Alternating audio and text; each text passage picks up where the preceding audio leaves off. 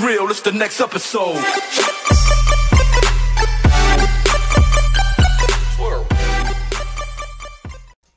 What's good, YouTube? It's your boy Rockstar the Villain here, and today I'm finna give my thoughts on playing the Division 2 private beta. I kinda wanted to make a video on playing the open beta as well, and just give my thoughts on both. But I'm like, you know what? Forget it. I see everybody else out here, you know, they are voicing their opinion about the game. So, I mean, why not? Like, I might as well voice mine as well. I know I don't have a voice like Wiz or Marco or any of those big, you know I'm saying, name YouTubers, but you know, the devs they want us to talk about the game. So I mean, I'm not expecting this video to hit like 100k views, not like that, but it's still good for me to actually give my opinion of what I feel about the game. So I'm gonna talk a little bit more about PVE and PvP, mostly about PvP. You know, I'm a hardcore PvP fan, and uh, I played Division One for.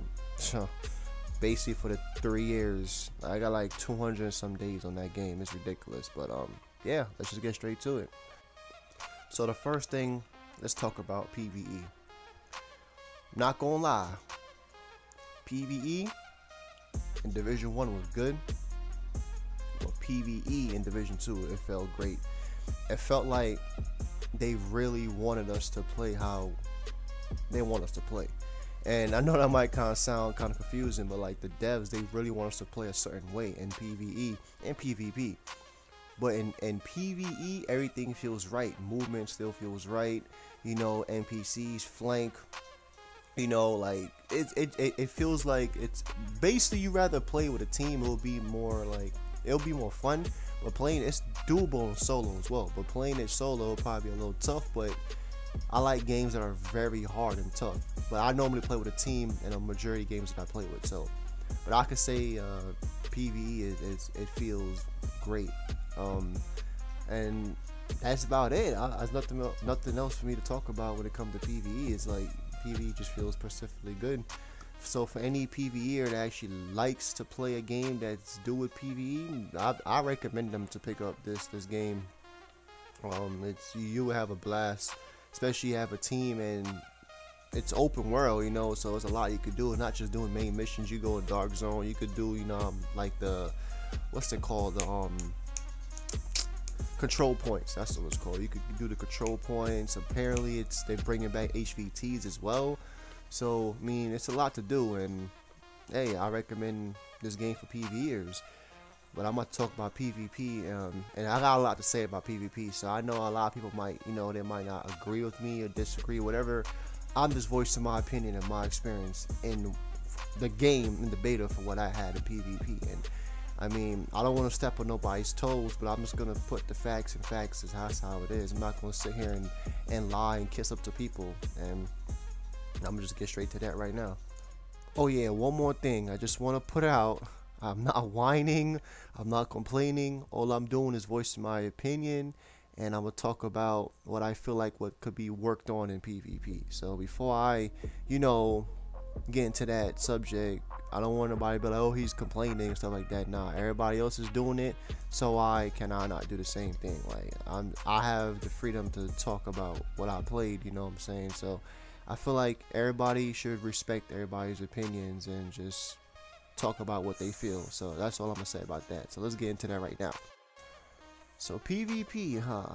Where can I start? Let's just talk about the overall, just about PvP. Um, I dig it. You know, it's you gotta play a little bit smarter. I dig it. You know what I'm saying? Um, they want to keep it as more of a Tom Clancy type game. You know, like they don't want to um, make it, you know, too fake like how Division One is. You know what I'm saying? I'm like shooting somebody a hundred times. But that's the whole point of what I'm confused about because uh, Division is supposed to be an RPG game, so you're supposed to take multiple shots and bullets and gear matters, right? So I know where everybody's gonna say, "Oh, well, you you just only played the level seven PvP." Correct, you're right about that.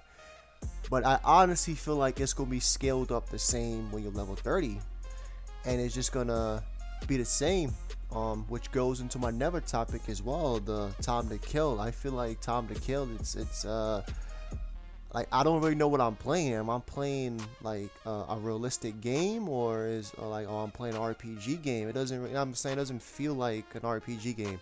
And I know, I know, I know this is not end game, and we haven't played with the skills. Just a beta. I get it.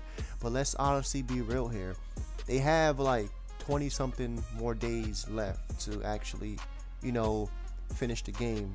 Most likely the game is ready complete. You know, so there's only a few things that they could do you feel me? So it's like what we're playing, that's what we're getting, you know?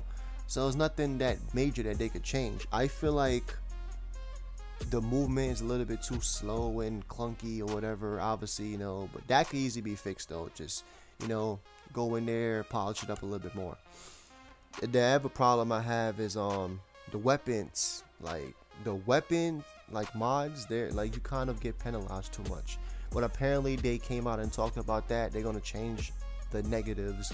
So you basically wouldn't be like hitting like negative 20% crit chance, something like that. They're gonna like reduce it to a little bit more shorter. So that's okay. Um, I also feel like armor kits, they're a cool thing, but I feel like you should be able to sprint and repair armor. Because I feel like when you get yourself in these moments where you're getting jumped, is nothing that you could do. Yeah, it's okay to like know your awareness, but let's be honest, when you actually get a team, like the game is new, so when you actually get a full team, team, team in in the game, like they actually know what they're playing, it's gonna be hard to pull off those one v fours and one v sixes with the armor being like that. We have to sit or sit, but stand and and pop armor.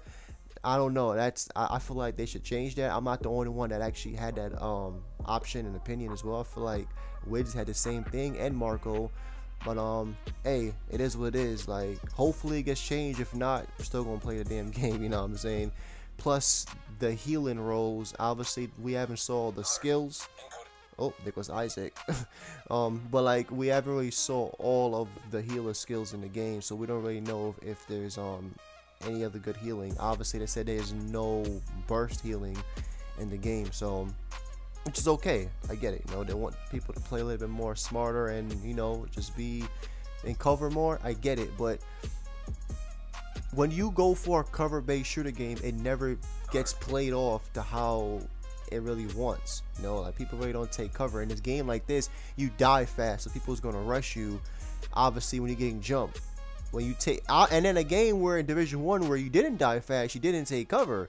Like look at games like GTA, look at games like COD. Like you don't really take cover in those games because you die fast. So once everybody start picking up on the game, learning the mechanics, the map awareness, the um basically how to build a builds if builds really matter you die too damn fast the pvp is probably just going to end up turning into division 1 pvp again all over again so it's just a thought just to put out there so apparently, from what I read up and from what I heard, apparently this is an older version that were played.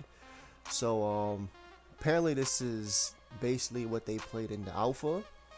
I don't really know if that's confirmed or not. That's just from what I heard and read up, and apparently from my sources. But if it is, it is. Because I can tell you right now, this this closed beta had a lot of bugs and glitches. So I really hope the open beta is a totally different and a totally different game for what we played a little bit. Because uh, it just wasn't acceptable for me to just you know like I'll be shooting and then I would have a gun in my hand. It's basically the same as like bugs that was in Division One, which is kind of sad that it's like they didn't really fix it or learn from it. But like I said, this was an older version. I get it. You know, hopefully the new version in open beta, you know, clears up and um, hopefully it plays the way how I wanted to play. Smoother controls you know, probably up the the speed on the game a little bit, you know, just something like that. Just make the game a little bit more better to play and less buggy because that's why a lot of people stopped playing Division One because it was just too much bugs, glitches, exploits, you know, hackers on PC. You know, it was, just, it was just like it was like they didn't really care, you know. So hopefully they got that situated. Here's another thing as well. I feel like the cap of players in the DZ, 12 players. I feel like we should bump it up, or they sh- they should bump it. I say we like I'm a dev, but um they should bump it up. I feel like 16 players would probably be better, and I kind of see why they don't want to. You know, because they're giving you three dark zones, and obviously they're trying to keep it, you know, more occupied to, you know, go to all three. And also, to stop the lag because um, Division One had a lot of lag in it as well because of the player count. But I don't know. I just feel like it was just harder to find players. You know, you got distractions, and of course, when people clean out landmarks, it will light up red. But I don't know. It's nothing really a big major problem. It's just you know, I just feel like I think 16 players would be more effective, and you know, just be more intense to actually get these PvP fights. But yeah, I'm good with it. I'm cool. Now I got two questions for Massive. Two questions. Question number one. Why when we go rogue or manhunt, my fault, manhunt, why do we have like a little effect, like uh, a visual effect? Like I don't know how to explain it, like, but all I can say is that hopefully there's a feature to turn that off. I actually died twice, three times by that. Like I will try to like ADS my opponent and the visual will pop up and it'll throw off my aim. Uh, I, I don't really agree with all that. It's like too much. You're doing too much. It's it's too much. And the fact that is when we die is a manhunt, we gotta wait 60 seconds. Like that's unacceptable.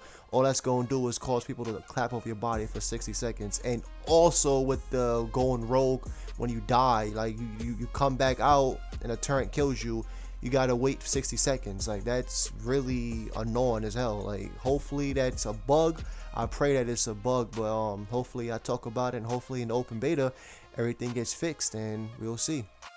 But hopefully, massive, if you listen, hopefully, I pray that that was a bug and hopefully in the open beta that is gone, finished, because that really triggers a lot of players.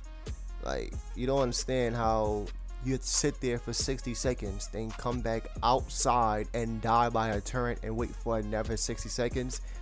Like that is no, that's stressful as hell. So yeah, address that please. But other than that, I think that's about it. I'm pretty sure it might have more, but I'm not really trying to, you know, make the video a little bit too long. It's probably the longest video I ever did. No matter of fact, there is let's talk about strafing. so I am a strafe god myself. I strafe a lot, and you know it's kind of viable and not viable. But I'm gonna put up a clip to show you that strafing is still in the game. Basically, they slower the movement speed. They stopped at burst healing, and to put the armor kit to be steady, but for strafing, but literally you didn't really fix anything. Look, it's a clip right here of me strafing. Um, my homeboy Ed he's actually recording me. I believe I was out of combat. I don't remember. In combat, out of combat, it doesn't matter. The function is still there. You can still do what you want to do. PC players could do a little bit more fluently because obviously with with a keyboard.